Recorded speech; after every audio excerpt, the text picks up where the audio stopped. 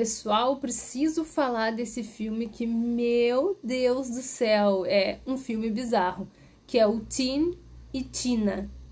É um filme ali que eu achei na Netflix, por acaso, que é uma família dos anos 50, se eu não me engano, que se casa ali e quer engravidar.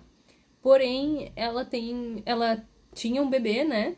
Uh, e acaba sofrendo um aborto. E depois disso, a médica disse que ela não vai mais conseguir ter filhos.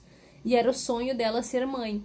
Então fica naquele problema, naquele problema, e ela fica sofrendo até que eles têm a ideia de adotar, né? Só que eles queriam adotar um bebezinho.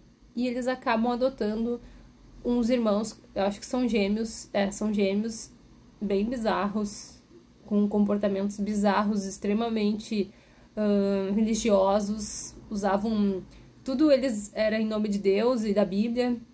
Enfim, tu vendo aquelas criaturinhas ali na igreja, já ia desconfiar que não ia ser um, umas crianças assim muito normais, né?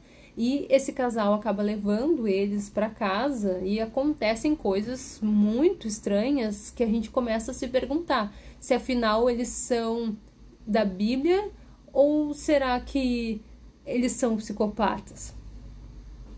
Então eu acho que isso aqui, na verdade, é uma crítica que esse filme faz assim a esses religiosos que fazem várias coisas e usam a Bíblia como desculpa porque interpretaram daquela maneira o que tá na Bíblia, né? E eu achei assim um filme bem bom e o plot twist é bom também e dá bastante raiva. Já falo isso.